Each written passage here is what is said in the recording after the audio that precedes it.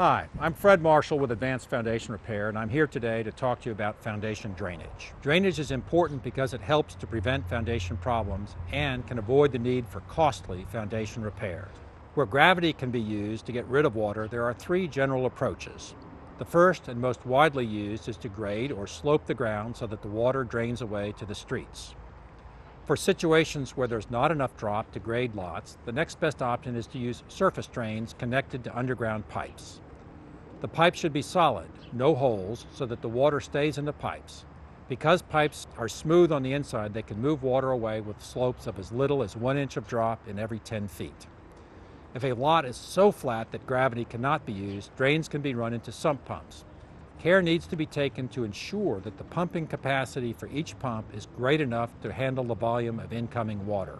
In cases where there's a need to get rid of underground water, French drains can be used.